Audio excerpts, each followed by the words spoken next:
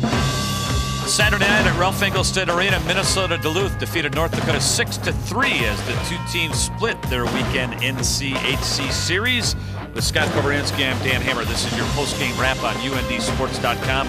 Cover North Dakota never led in the hockey game on Saturday evening. No, they just didn't seem like they had the, the energy level that they did last night, and that was uh, right from the get-go. But again, it was uh, Minnesota Duluth uh, seemed like they had a little bit more energy, made some plays, and hence they come out here with a 6-3 win tonight. Here's your scoring recap, and Duluth would uh, strike first in the first period and it would be one of their power play goals. Alex Iafallo beating uh, Clarke Saunders, who got the start. Nice goal by uh. Just goes to the uh, front of the net, gets a rebound, and puts it in for 1 nothing lead for uh, Duluth. North Dakota answered back, though, 2 minutes and 50 seconds later on its own power play goal from Dillon Simpson. Again, the defense uh, continues to score for North Dakota.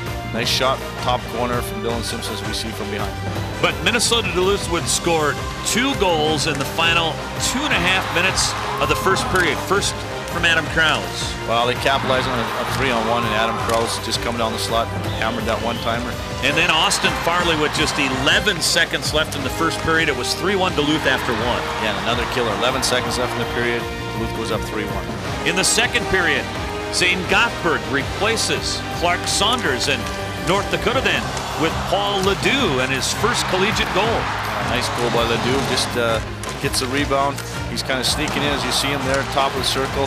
Kind of knuckleballs one, but he'll take that for his first college goal. That got North Dakota within 3-2, but again, they give up a late goal. With a minute 12 left in the second period, Sammy Spurrell scores to make it 4-2 Duluth. That, in my mind, was the real backbreaker for North Dakota. Minute 12 left in the period. We give that goal up. Uh, a little bit soft in my opinion.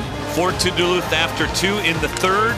Adam Krause gets his second of the night at the 6.30 mark of the period to make it 5 to two Bulldogs. Yeah, Krause just gets that puck, goes uh, deflected on the way in, and he uh, one times that puck from the top of the circle and Gothberg no chance. Bryn Chyzyk gets his first goal of the season, his second career goal to get within North Dakota within uh, five to three, but uh, Duluth would close it off with a late empty net goal for the 6-3 win. The Bulldogs outshoot North Dakota 32-25. Duluth won the faceoffs 35 to 28. Three power play goals on the evening, two for the Bulldogs and one for North Dakota. So North Dakota now heads to Boston University and non-conference games, oh so important, maybe even more so in college hockey now with the conference realignment, the new Big Ten conference, the NCHC. So UND goes to Boston U next weekend. Yeah, and hopefully they can they can go in there hungry and hopefully have a little bit more energy after the sickness that they've had all week. So they need a little rest. They'll regroup, and again, they're going into a tough building. It'll be fun to see that game uh, next weekend for sure. Duluth beats North Dakota 6-3 Saturday night, and that's your post-game wrap here on UNDSports.com.